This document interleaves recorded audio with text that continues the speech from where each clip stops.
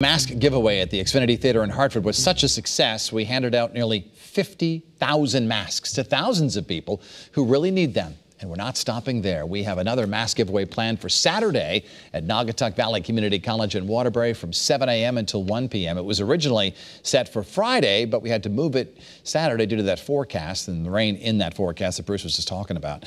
This Masks for Connecticut 3 Cares event is a collaboration with the Jewish Federation of Greater New Haven, Webster Bank, and WTIC News Talk 1080. And joining me now to talk about the upcoming mass giveaway is Pastor Will Marotti. He is the host of WTIC News Talk 1080 in the morning and a pastor at New Life Church in Meriden. Pastor Will, good to see you back here on the program. Hey, Dennis, how are you? Nice to see you. Nice to see you. Your audience has helped raise more than apparently $50,000 for Masks for Connecticut. Talk about that support and how it came about. Yeah, it's really amazing. You know, we just have an incredibly uh, generous, sacrificial audience. And uh, I found out about this mask uh, giveaway uh, the first day it happened. But actually, Bob Stefanowski called me. He was on his way down to New Jersey with uh, Pat Sester truck. He said, "Hey, we're getting some masks. We're going to give away. Would you promote it?" I said, "Yeah, sure." So.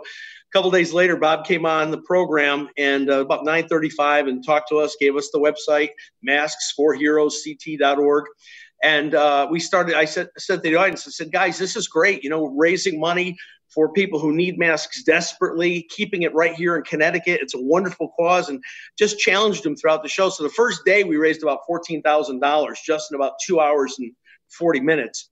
And then uh, we just kept it going. So uh, through Friday, we've uh, raised over $50,000 for masks, and we had some matching gifts come in. So it's put us over $60,000. It's given us enough to buy and, and distribute about 81,000 masks. Pastor, on your show in the past, you and when Mr. Stefanowski's called in have been very critical of Governor Lamont and his policies in the past. How do you think he's been handling the state's response to the pandemic? Do you think he's doing a good job?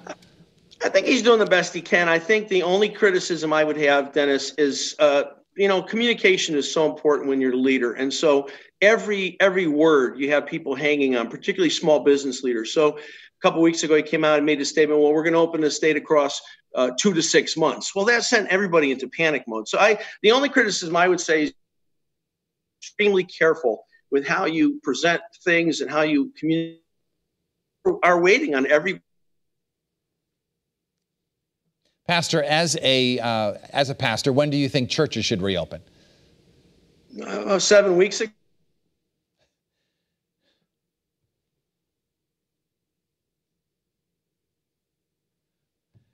Pastor, I'm, I'm sorry. We, we wanted the answer to that question, and we're yeah, going to have four to. Four o'clock.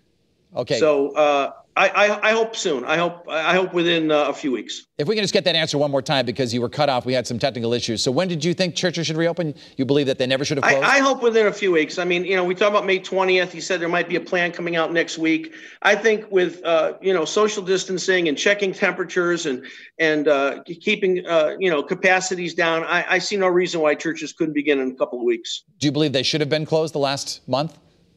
Yes. Yeah, I think there was too much, too many unknowns. There was too many things we didn't understand about the virus. It, it, would not have been wise. It would not have been safe to keep, you know, packing hundreds of people into buildings and, and not really knowing what the outcome would be. Pastor Will Marotti from New Life Church in Meriden and WTIC News Talk 1080. We thank you so much for being in the program. We'll see you soon. Thank you, Dennis.